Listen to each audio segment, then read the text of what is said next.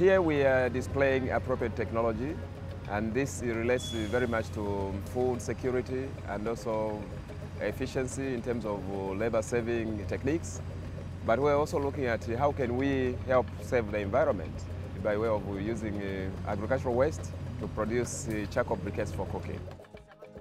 Some of the things that we are doing, we are doing cell phone charging using a bicycle. As you bike, then it's able to generate the energy that you need for charging the phone.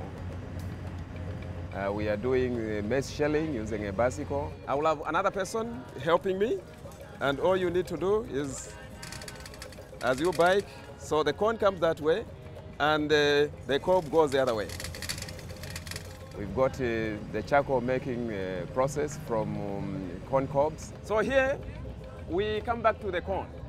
After you, you get your corn off the cob, so you want to turn this into charcoal, and that charcoal will actually give a possibility to save on a lot of uh, tree cutting, and that conserves the environment.